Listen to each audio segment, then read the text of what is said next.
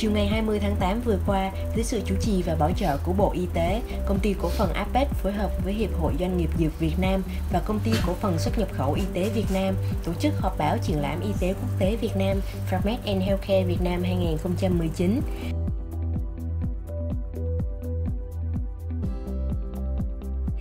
triển lãm y tế quốc tế Việt Nam à, uh, Framed and Healthcare Việt Nam đã thường xuyên nhận được sự ủng hộ quan tâm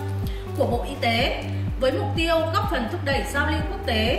tiếp cận công nghệ và thiết bị tiên tiến nhằm nâng cao hiệu quả của công tác khám chữa bệnh và điều trị.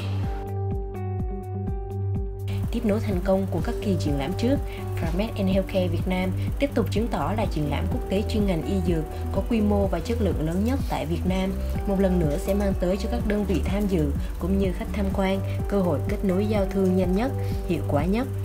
Triển lãm diễn ra từ ngày 11 đến 14 tháng 9 2019 tại Trung tâm Hội trợ Triển lãm Sài Gòn SECC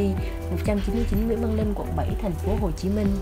Triển lãm Pharmed and Healthcare Việt Nam là nơi giới thiệu những tiến bộ thành tựu mới nhất của ngành y dược Việt Nam và thế giới, những thành tựu nổi bật của ngành y tế Việt Nam trong những năm qua, tạo cơ hội để các tổ chức, doanh nghiệp quảng bá sản phẩm, tăng cường trao đổi kinh nghiệm, nắm bắt cơ hội,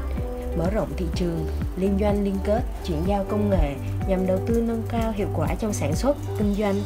Triển lãm là nơi hội tụ nhiều công nghệ, kỹ thuật tiên tiến trên thế giới, là điểm đến của các doanh nghiệp, nhà đầu tư hoạt động trong lĩnh vực liên quan đến y tế, dược phẩm, chăm sóc sức khỏe. Năm nay, Pharmac and Healthcare Việt Nam tiếp tục có sự hiện diện của các khu gian hàng thương hiệu hàng đầu tại Việt Nam và sự góp mặt của các tập đoàn doanh nghiệp nước ngoài đến từ nhiều quốc gia và vùng lãnh thổ như Đức, Hàn Quốc, Thổ Nhĩ Kỳ, Trung Quốc, Pakistan. Với quy mô trưng bày 10.000 m2 của 600 gian hàng đến từ 25 quốc gia và vùng lãnh thổ, triển lãm Pharmac and Healthcare Việt Nam 2019 dự kiến sẽ thu hút 15.000 lượt khách tham quan, trong đó trên 8.000 là khách chuyên môn đến tham dự.